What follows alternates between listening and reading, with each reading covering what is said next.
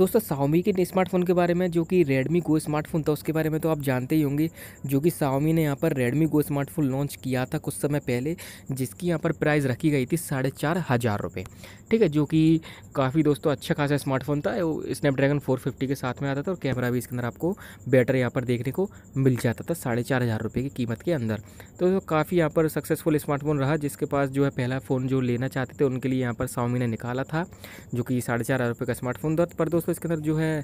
दो कमी यहाँ पर थी जो कि पहली बात थी इसकी रैम क्योंकि दोस्तों इसके अंदर रैम यहाँ पर वन जी ही मिलती थी ओनली एंड यहाँ पर दूसरी इसके अंदर जो कमी थी जो कि थी इसकी स्टोरेज तो दोस्तों इसके अंदर आपको एट जी स्टोरेज देखने को मिलती थी और प्लस वन जी रैम यहाँ पर आपको देखने को मिलती थी। तो, तो इसके अंदर दोस्तों इसके अंदर एक ही यहाँ पर वेरियंट आया था साढ़े चार हज़ार रुपये का जो कि था one G RAM plus eight G storage के साथ में। पर दोस्तों इसके अंदर आपको एसडी कार्ड स्लॉट भी डेडिकेटेड एसडी कार्ड स्लॉट भी इसके अंदर देखने को मिल जाता है। पर दोस्तों अब यहाँ पर न्यूज़ निकल कर आ चुकी है यहाँ पर आप यहाँ पर दोस्तों देख सकते हैं साउमी ने यहाँ पर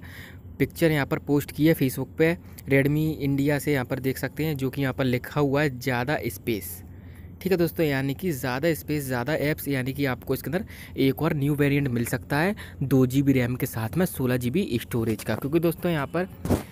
क्योंकि यहाँ पर जो है आपको वन ही वेरिएंट यानी कि एक ही वेरिएंट मिलता था, आठ जी बी आपका स्टोरेज के साथ में, वन जी बी रैम के। साथ में ठीक है? अब दोस्तों के अंदर आपको हो सकता है कि एक और यहाँ पर आपको वेरिएंट मिल जाए जिसके अंदर आपको दो जी रैम के साथ में